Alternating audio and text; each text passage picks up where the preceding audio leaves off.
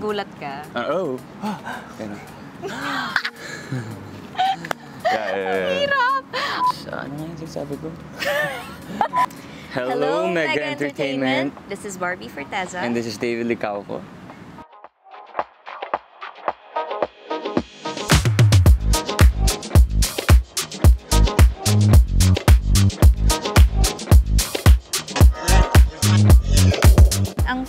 Impression ko sa kanya ay tahimik at attentive. Kumbaga parang pag may nagsasalita, kahit hindi siya yung kausap, nakikinig siya, nakatingin siya. Kahit na nagbibigay ng instructions si Direk pero hindi para sa kanya, nakikinig siya.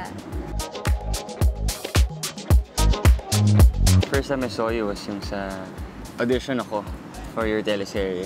Okay, oo nga. Yung meant Oo to nga, be. Oo nga. Think first audition kaya tayo, or second audition. Nakaka-intimidate, di ba? Like knowing na, uy, si Barbie yung kaeksena mo. And then, yun na nga, ang nangyari, ah, ang sama nung acting ko. Eh, kung ano Hindi, hindi ko talaga maalala. Kaya, Hindi, yun na nga, sa sobrang pangit, di mo na naalala.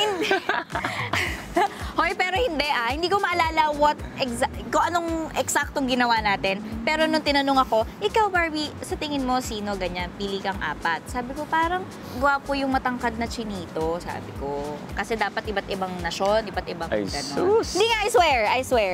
Pero hindi ko na maalala yung acting mo nun. ah, Oh, okay. honest ako dun.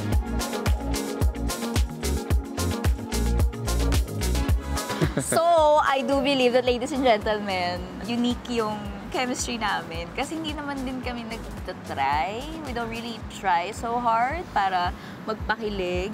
Siguro nakakatulong din yung pagiging shy type ni David, kaya ang dali-dali sa akin na harutin siya. Kasi iba yun sa typical na leading man, di ba? Yung aasahan mo na, Mag-lead. ganun. oo, Mm. exactly. So yun, I guess yun. Kasi ganun din, naisip ko rin yun.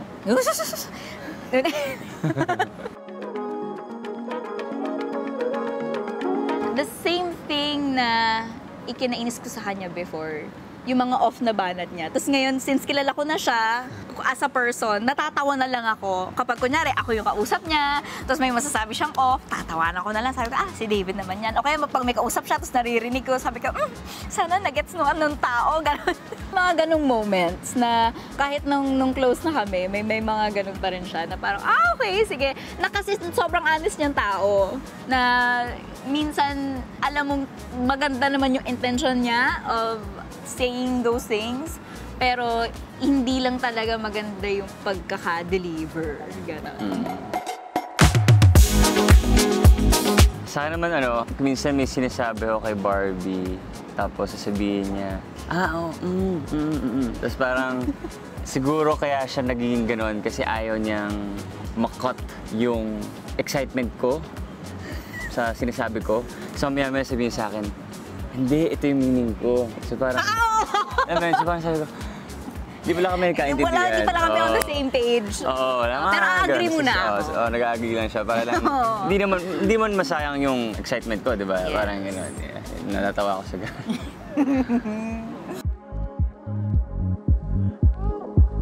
There are few on the top of my head nung nag-eksena tayo sa pelikula natin, That Kind of Love. Tapos nandun tayo sa pedestrian crossing. sa, Eh, orkot ng orkot si ate girl kasi ang taas-taas ng tiil. orkot? Takot. Ah, sorry, sorry. Takot na takot si ate girl kasi kasi naka-heels, naka-heelery siya. Tapos ang haba-haba ng damit. Eh, tatawid. Siyempre, hindi naman namin inaano-ano yung stoplight dahil may eksena kami, di ba? So, pag sinabi ng director, oh, tumawid ka, tatawid ka, prayers na lang kung makakarating ka doon sa kabilang side ng buhay. so, nung pabalik na kami, sabi ko, ah, dali, dali, dali, dali. Tapos sinawakan niya lang ako yan, ako bahala sa'yo. Gumanon siya. So, doon ka naman naramdaman yung pagka-leading man niya. ako ano, Maria Clara and Ibarra Yung Fidel continuation. Klein na continuation. Yeah, I think uh, gusto kong gawin yun. Big impact yung Maria Clara and Ibarra. Like, uh, syempre for the fans na rin and also for me personally. Gusto ko yun kasi yun yung pinaka na-enjoy kong gawin. I mean, enjoy ko naman lahat, pero yun yung pinaka. Mm. Tsaka hindi, kahit naman tayo, honestly, ako naging fan din naman talaga ako Exactly. ni Client ni Fidel and I've always wondered paano sila mag end up. Is, ang daming tanong, so gusto ko rin sanang malaman yun. Ako kasi, despite uh, yung yun nga, I think before Maria Clara, konti na naman may kilala sa akin. Pero nagulat pa din ako na, kayo nga pala, artista nga pala ako. Parang for me lang kasi, tao pa rin ako, gusto ko rin magawa kung ano yung mga gusto kong gawin. But of course, I have to be more aware because I'm a pu- public figure now. Some people look up to me. Kailangan ko mas maging cautious. Ako naman, learn how to not overshare on social media. Since I've been in showbiz almost all my life, dati ang mindset ko was gagawin ko kung anong gusto ko, ipopost ko kung anong gusto ko, ito-tweet ko kung anong gusto ko kasi ayokong, I don't wanna let showbiz or anyone dictate what I have to do kasi buhay ko na to eh. So dapat I still have control over it. But then, natutunan ko rin and I also realized, hindi naman laging dapat updated yung mga tao tungkol sa'yo. Hindi naman lahat ng bagay dapat mong i-share or makakabuti kung i-share mo. Parang some things are better pag mas private. Ako lang yung nakakaalam and the people who matter. So, yun.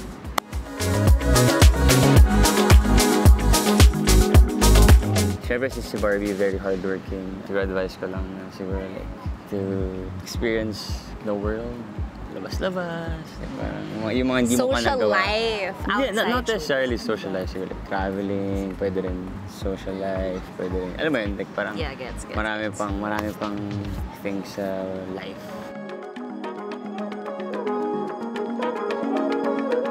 don't put too much on your plate. Prioritize yourself. Do what makes you the happiest. Muna, start with yourself. And then, tsaka mo na intindihin yung mga businesses mo kasi mayaman ka naman na. So, dapat happiness mo muna, di ba? Personal happiness, um, personal goals. Doesn't have to be about business. More of like yung personal mo talaga. Nakwento mo sa akin, may gusto kang gawin after maging sino ka man. Which, I hope magawa mo na para for the better Yeah. of your well-being. So, yun. Thank you. Thank you!